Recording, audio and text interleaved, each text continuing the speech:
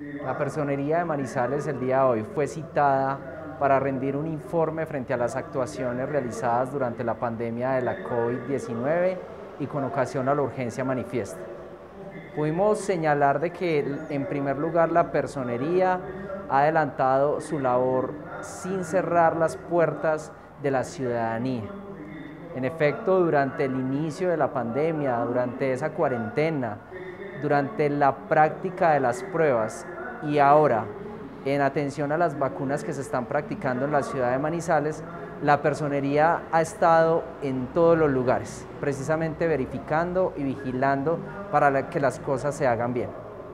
Por otro lado, también la personería ha tenido que atender muchas solicitudes ciudadanas, entre ellas, por ejemplo, y una problemática nueva que surgió con la pandemia de la COVID-19, logró repatriar varias personas, trasladarlas a la ciudad de Manizales, ya que se encontraban atrapadas en países como Chile, como Brasil, Ecuador, Perú, Estados Unidos, y gracias a la gestión de la personería, hoy día se encuentran con sus familias.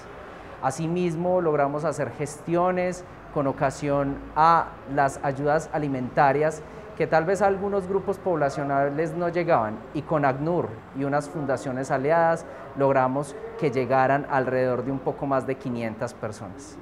Hemos atendido y hemos vigilado todas las IPS y EPS y hemos denunciado a las autoridades competentes para que se impongan las sanciones respecto a estos asuntos. Son muchas las actuaciones de la personería de Manizales y hoy día nos preocupa algo y es precisamente la práctica de las vacunas.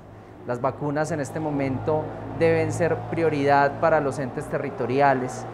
No se debe correr en la práctica de las vacunas para mirar quién es quien lo hace más rápido o no. Lo que se debe hacer es precisamente buscar de que todos los ciudadanos queden vacunados y conforme a las fases dispuestas por parte del Ministerio de Salud y Protección Social.